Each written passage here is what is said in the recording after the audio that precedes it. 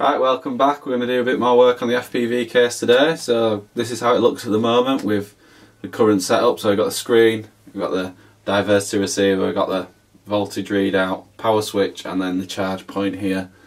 Um, if we take this out, you can have a look at the angled pieces. I've changed them a bit since last time we were here. I've actually put a hole in either side of them now and then bolted through from the edge of the case because the glue wasn't sticking very well just to the smooth side of the case even with it roughed up slightly. But with the battery this is a much bigger surface area so these are these seem to be holding up quite well. I'm just going to leave them how they are at the moment. You can see an old an old black one up here as well. So we'll just leave it like that and see how it goes at the moment. So today we're going to just do a bit of wiring on the back of the LCD and also start putting some bits together and then we'll see how far we get uh, and I'll decide if it needs to be one or two videos so I'll just set up and we'll get to it. Alright then so this is the back of the board obviously. So again we've got the receiver, voltage readout, power switch, charging point, a relay for switching on the system. So I'm not doesn't really give me a DC rating of this switch so what I'm doing is I'm using this to switch the power. And then it's a solid state relay so on the actual coil side it's electronic so it hardly uses any power which is quite good. I don't really know if I need that but I'm just putting it anywhere. You obviously got the LCD driver board with these sticky standoff pads which are quite good. I got them off eBay. Obviously I got the the driver board for the LCD LED I just double side that straight down so we're just going to go into I think we're going to start off by just going straight onto the power tabs here and just soldering direct instead of using a plug. There's no real point in us needing a plug because it's permanent so I'm just going to put some wires onto here and extend out. So that's what we'll do first. So we'll get set up. So I'm just going to check on the with the old multimeter here on and see where our connection point is for each pin. So obviously you don't want to get your polarity mixed up, so you want to go onto your your bell test. And then if there's a connection between two points it'll beep. So one on the pin I guess it's this back pin here so yeah that's correct. And then we'll just check the other one. Look for the look for the tab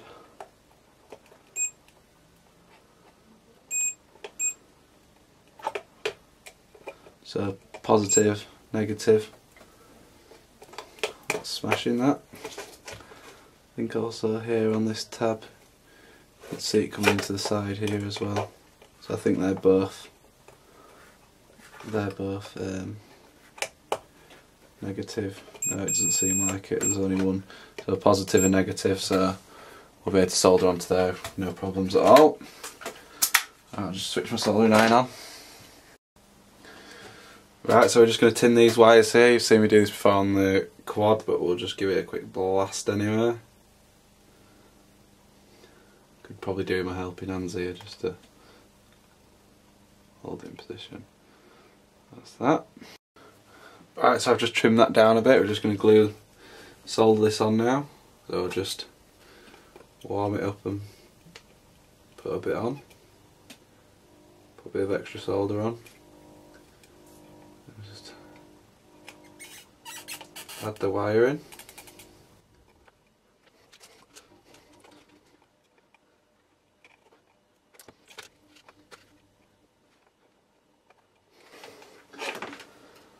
That.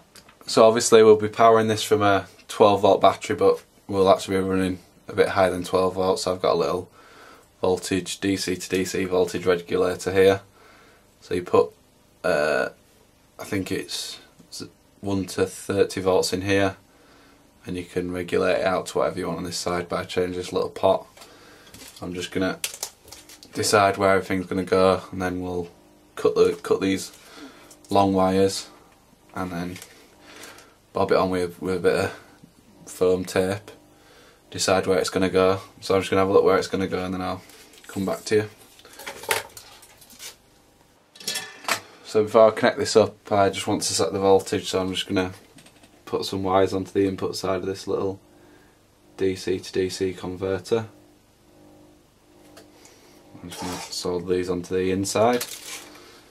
So we've got plus here.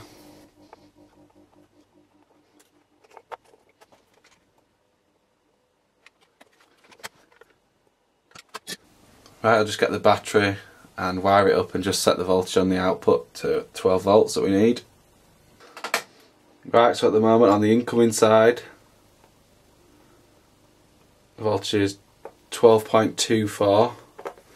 On the outgoing side we're at 11.87, so we're just going to adjust the pot up to give us our 12.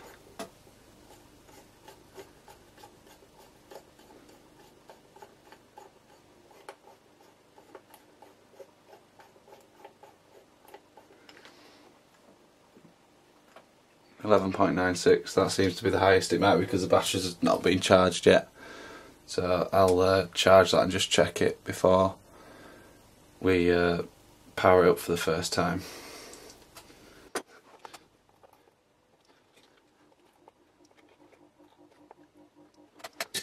So that's the output side connected up. Just going to readjust the camera. So this brown bit here, this brown masking tape is just denoting where the battery is so I just don't want to put anything there because that's quite close to the, there's not much, only about a couple of mil between that and the one of the standoffs of the battery so that's why it's there. Right, I'll just uh, decide where this is going and get back to you.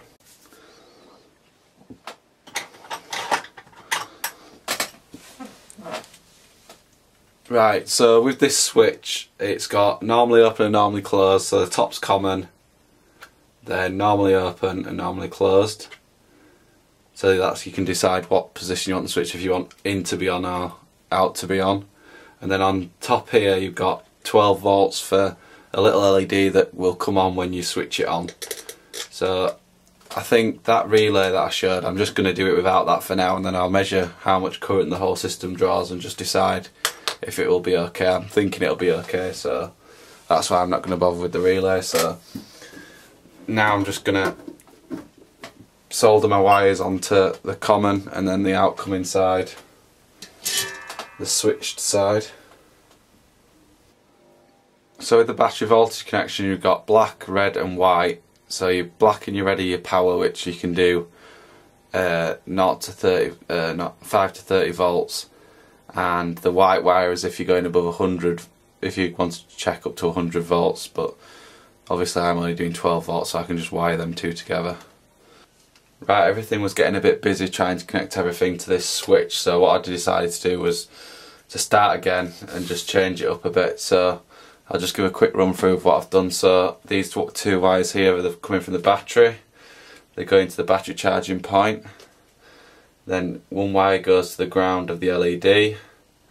Then comes back across to the ground power distribution board here that I've made just out of a bit of circuit board. Then you've got the plus voltage going in to the switch, coming out of the switch, going to the other side of the LED for the for the switch light, and then coming to the ground uh, plus volts of the power distribution board then obviously that goes in into the step down converter on the right hand side same with the ground and then back into the board then we've just got another uh, plus and minus going to power the diversity receiver and then both the white and the red so the sense and the power go to plus volts and then just a ground the ground connects onto the ground side of the power distribution board. So this is just a little distribution board, it's switched. It's only on the switch side to keep it as safe as possible. So that should be okay. Looks put quite far, so worked far okay so far. So I'll just flip it over and just show you the result. And uh, I think I'll decide what I'm doing with all the all the wires and the little infrared receiver see where that's going to go and I'll put another video up about that so I'll just flip it over and switch it on so here it is power on power on the receiver power on the screen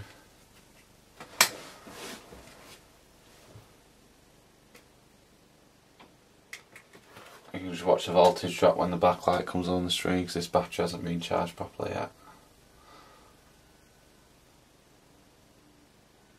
So that's it. There you go. So we'll see you in the next video where I've neatened everything up and it should be inside the case by then. So thanks for watching and come back again for the next episode.